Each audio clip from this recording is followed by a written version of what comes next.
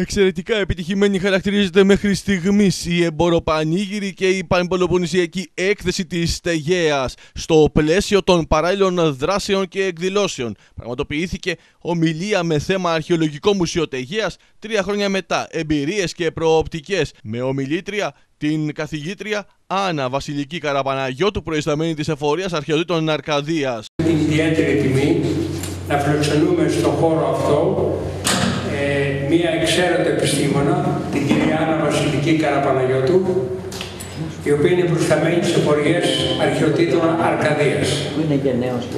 Η οποία θα μας μιλήσει για το Αρχαιολογικό Μουσείο της Τελείας, που έχει γίνει διεθνές γνωστό τα τελευταία τρία χρόνια. Ε, τρία χρόνια μετά, εμπειρίες και προοπτικές. Ευχαριστώ το Διοικητικό Συμβούλιο του Τελειωτικού Συνδέσμου για την πρόσκληση πολλά και γνωστά γνώριμα πρόσωπα εδώ, ε, άνθρωποι με τους οποίους συνεργαζόμαστε εδώ και αρκετά χρόνια, τόσο με τον κύριο Πρόεδρο, τον κύριο Θανασόπουλο, ε, τον επίτιμο Πρόεδρο, τον κύριο Πολίτη, τον κύριο Δαλαμάγκα, κυρία Γενική Γραμματέας. Χαίρομαι πάρα πολύ που ξαναβρίσκομαι ε, στην γνώριμη και φιλική αίθουσα εδώ της Οικοκυρικής Σχολής.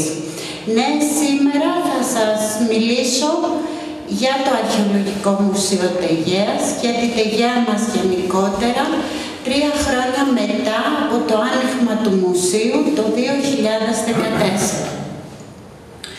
Το Αρχαιολογικό Μουσείο Τεγέας, εδώ βλέπετε κάποιες εικόνες που έχουμε χειμωνιάτικες του μουσείου, με λίγο χιόνι εξωτερικά, Βρίσκεται στην Αλέα, όπως ξέρετε όλοι, ένα μικρό παραδοσιακό χωριό στην Νότια Ελλάδα, στην καρδιά του Μοριά, στη σημερινή διοικητική περιφέρεια της Πελοποννήσου.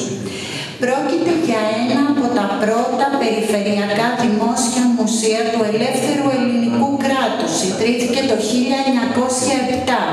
100 χρο... 110 ε, ε, χρόνια συμπληρώνονται. Αναβαθμίστηκε κτηριακά και εκθεσιακά τα τελευταία χρόνια και επαναλειτουργεί από το 2014 μέσα από δύο θεματικούς άξονες και επιμέρους ενότητες που αναπτύσσονται στον προθάλαμο, στις τρεις αίθουσες και στην αυλή του μουσείου, προσκαλεί το επισκέπτη σε ένα ταξίδι εσωτερικής αναζήτησης.